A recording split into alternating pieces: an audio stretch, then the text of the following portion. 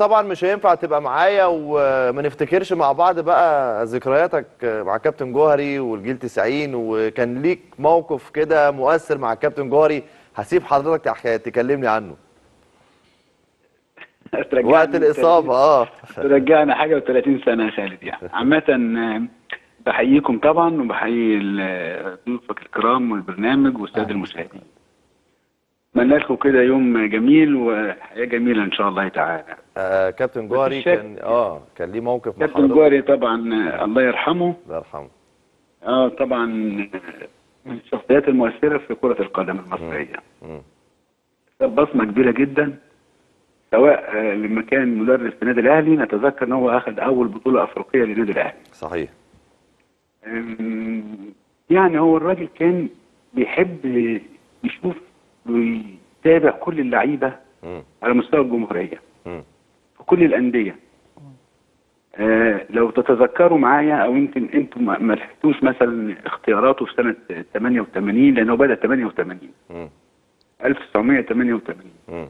كان في اختيارات كتير جدا من نادي المحلة ومن نادي المقاولين ونادي الترسانة والنادي المصري والنادي الإسماعيلي. أتذكر كل الأندية. كان طبعا إلى الناديين الكبار الأهلي والزمالك يعني شذ عن القاعدة شوية في فكره مم. لأنه قال لا في لعيبة موجودة من ضمن غير الأهلي والزمالك الأهلي والزمالك آه آه معاهم على أساس إن هو طبعا لما ضرب في الدوري فترة.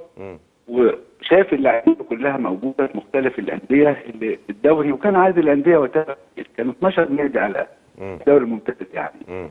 فأنا فوجئت في الحقيقة يعني كنا إحنا نازلين كان هابط اللي صعدنا فيه آه، لقيته باخر سنة 88 بيستدعيني. في الحقيقة قابلني مقابلة كويسة واتكلم معايا كويس وقال لي أنا فاكر وقتها يعني قال لي اللي فكرني بيك آه، محمود. فبقول له قال لي محمود الخطيب كابتن محمود. أنا بكلمك يا كابتن هشام على اللقطة أما حضرتك اتعرضت لإصابة قبل كأس العالم 90 والكابتن جوهري ساعتها أصر إن أنت تكون موجود معاهم. في بعثة آه. المنتخب في كأس العالم. ده كان موقف بالنسبة لك أكيد. يعني أنت حضرتك دي حاجة عمرك ما تنساها من موقف بيدل فعلا على احترام آه كابتن جوهري لأي لعيب كان موجود معاه. والله طبعا دي لفته كانت كريمة جدا منه إن هو كان بيتابعني وأنا بعد الحادث. مم.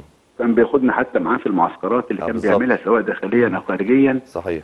وكان متأثر جامد جدا. بإصابتي وبعدي عن ال... عن الملاعب وعن الفريق. فهو اللي أصر إن أنا أكون ضمن البعثة الرسمية. كمان يعني كان وقتها 22 لاعب. قال لا هو خلاهم 23 وأنا أقول كلمة برضو للسادة المشاهدين خلال برنامجك. وقناتك قناه نادي الزمالك إن هو عاملني حتى في في المباريات في المكافآت في البوكت ماني في مم. كل الكلام كان إيه ضمن- موجود بتلعب مفيش أي حاجة آه مفيش أي اختلاف. آه, آه, آه والله يرحمه الله يعني. رحمة الله عليه.